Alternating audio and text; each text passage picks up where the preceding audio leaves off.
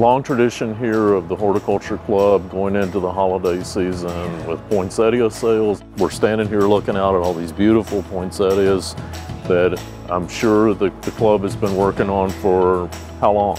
We planted them the Sunday before classes started in August. Okay. It took probably five hours to get them all in their respective pots. How easy is it to get a poinsettia to grow? They're trees. Right. They are woody perennials, so they, they can be very tall, they look like trees, but in order to get the lovely colors, we have to change the light requirement so that they have short days and long nights, because that stimulates the color. So you're a part of the Horticulture Club as well, Robert? That's right. Horticulture Club is a really great opportunity for students of, of any major studying anything to learn more about how plants are grown. We have guest speakers from the university as well as private industry come in and, and speak to us about their professions. And it's a great social connection. And we take these large foils for the large eight inch Yeah. pots, and we just drop them in there, fluff it up a little bit, and then it's good to go. Ready to go. The red goes with the white. See, look.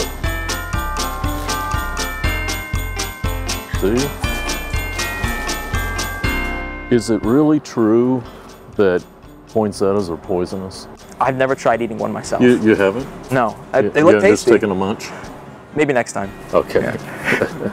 These poinsettias on this bench, the white and the red, or the scarlet and cream, are for the ah. Pinnacle Bank Arena commencement ceremony for graduation this year.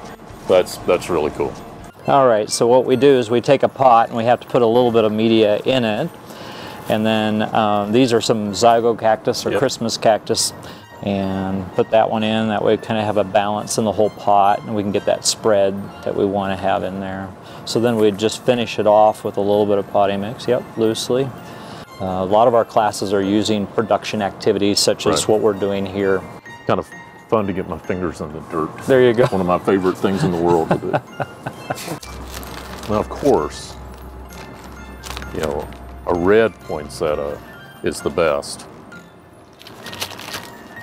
Go Big Red.